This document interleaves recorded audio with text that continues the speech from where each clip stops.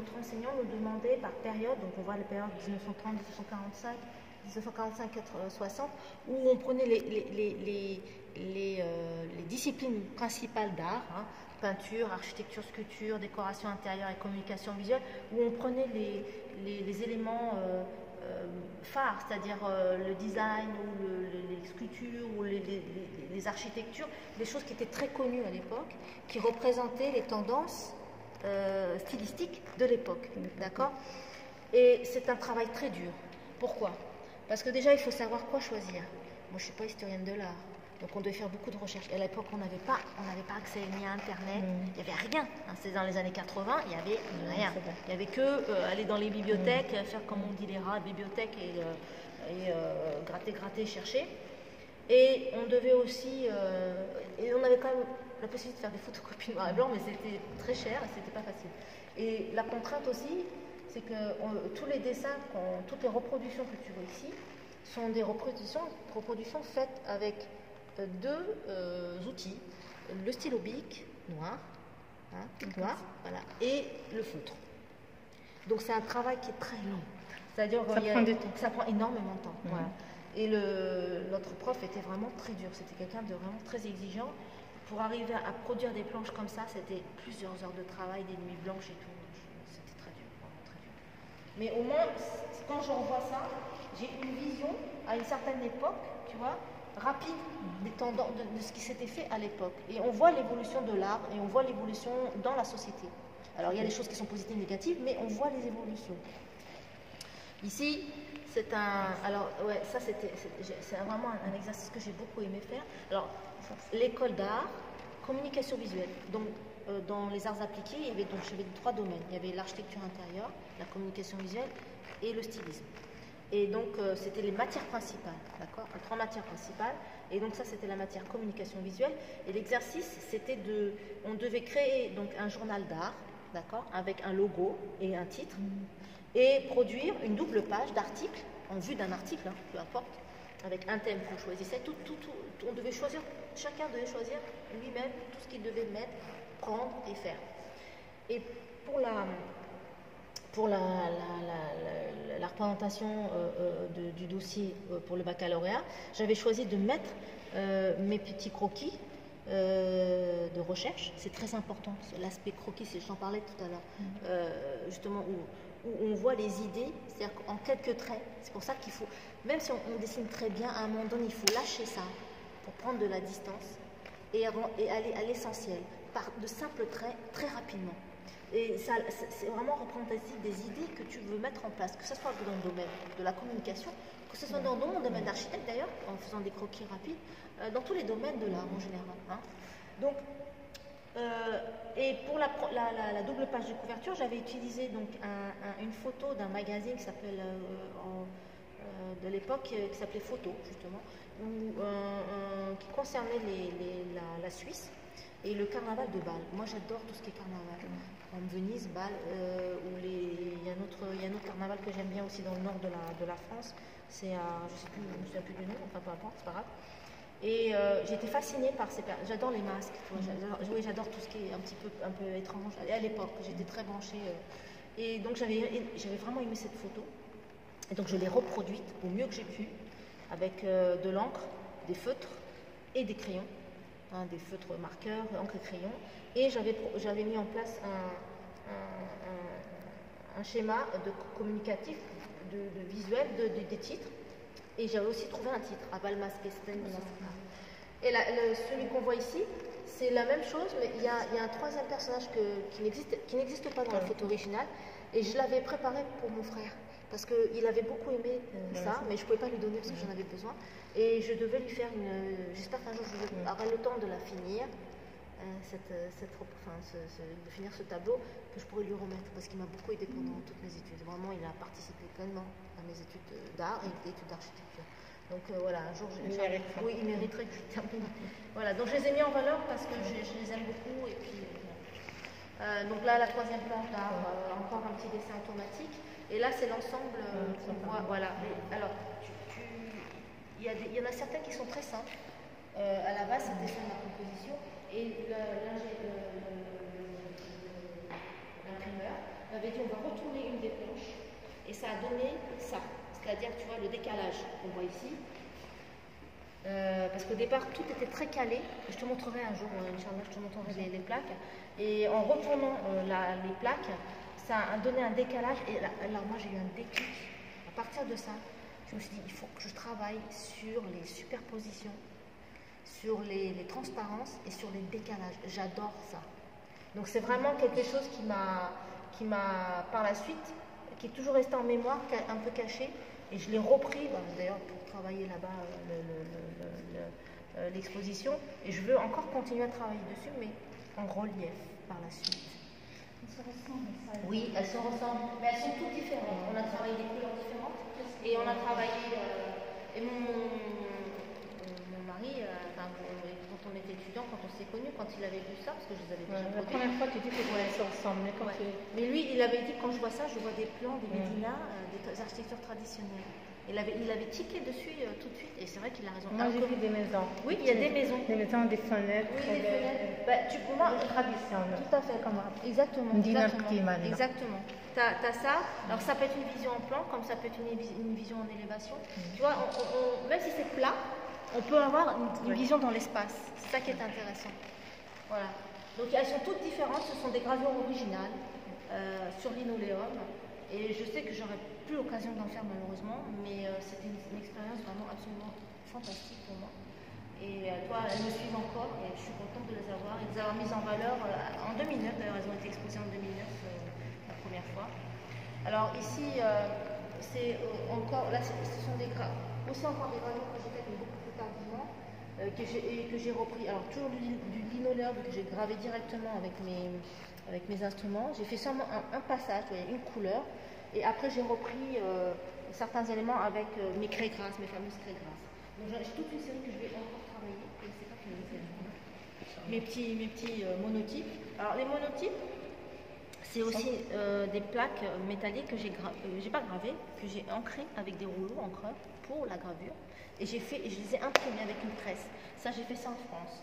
Euh, ça aussi, j'aime beaucoup parce que. C'est photographique. Oui, voilà, exactement. C'est imprimé et, y a, et, ce que j'aime, c'est justement la super encore.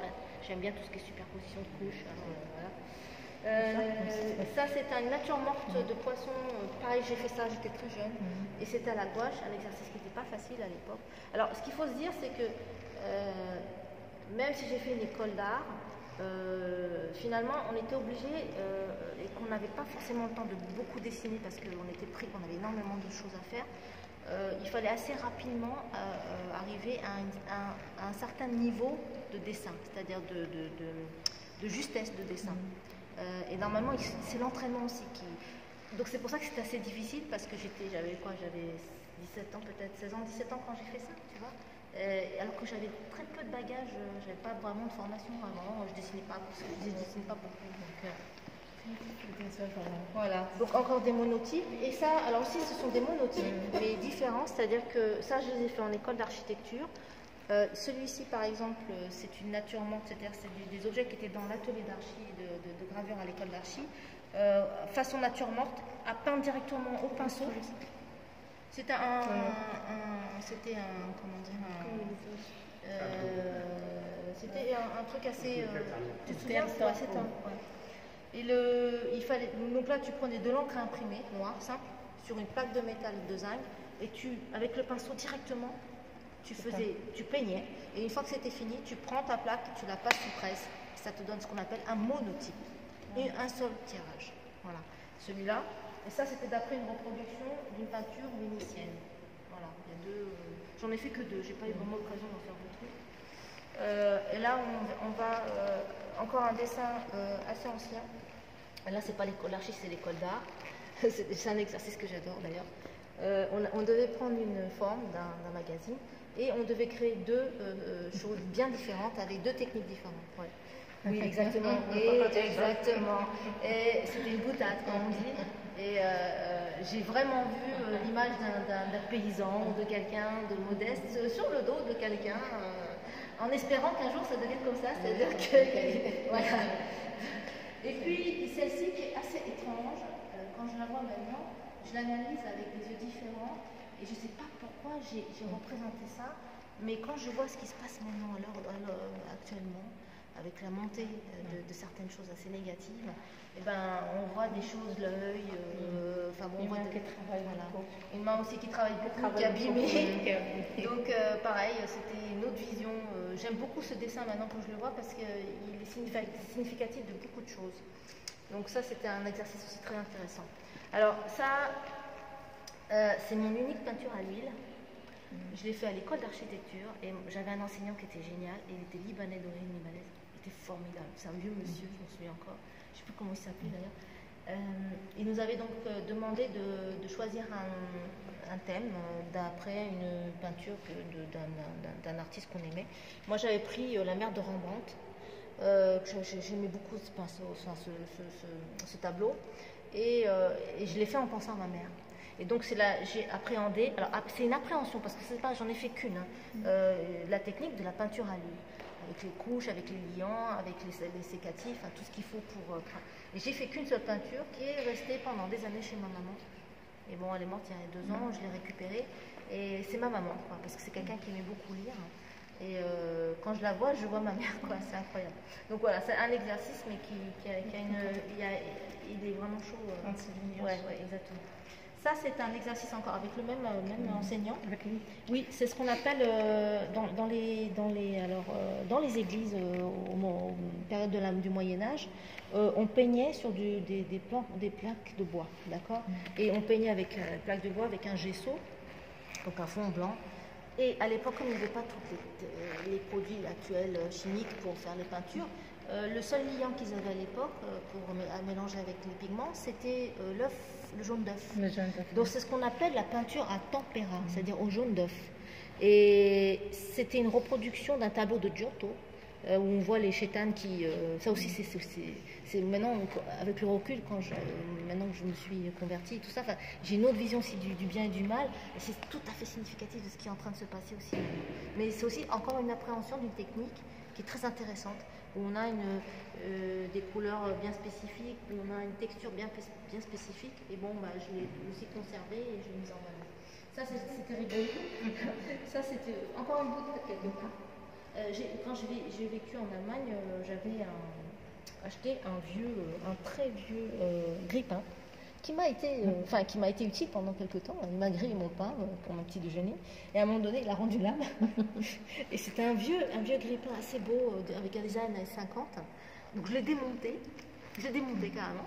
Et puis j'en ai fait une composition, un peu à la manière des, des dadaïstes, euh, des, des- euh, des artistes du début du pareil euh, du XXe siècle, euh, qui fabriquaient, même, même par exemple, on prend Picasso aussi, il a fabriqué des choses comme ça.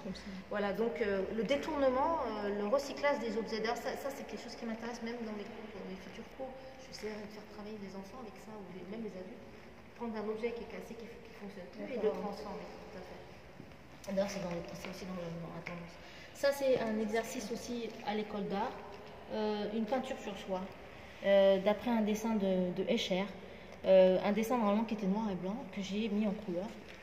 Et aussi une initiation à la, peinture sur soi, euh, avec le, le batik, enfin bon, les sertissages, enfin bon voilà, c'était avec différentes techniques, avec le sel, J'en ai pas fait beaucoup non plus parce que j'ai pas eu le temps de. Et alors ça, c'est une œuvre personnelle.